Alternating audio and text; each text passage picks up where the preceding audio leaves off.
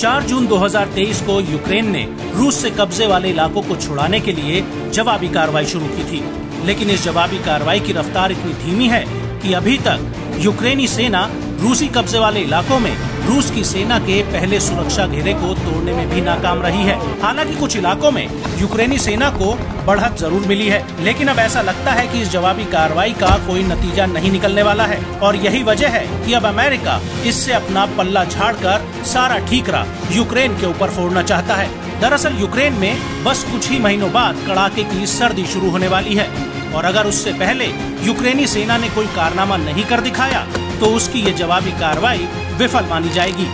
ये बात अमेरिकी सेना के joint chief staff Mark Milley कह रहे हैं और इसको लेकर अमेरिकी सेना के एक रिटायर्ड कर्नल अर्ल रासमुसेन का कहना है कि जवाबी हमले में यूक्रेन को इतना नुकसान हुआ है जो कभी नहीं होना चाहिए था। अंदाज़ा है कि जवाबी कार्रवाई के लिए यूक्रेन के पास 30 दिनों का गोला बारूद और सेना बची हुई है। अमेरिकी रिटायर्ड कर्नल का कहना है कि यूक्रेन के पास लड़ने के लिए 30 से 45 दिन का अनुकूल मौसम रह गया है।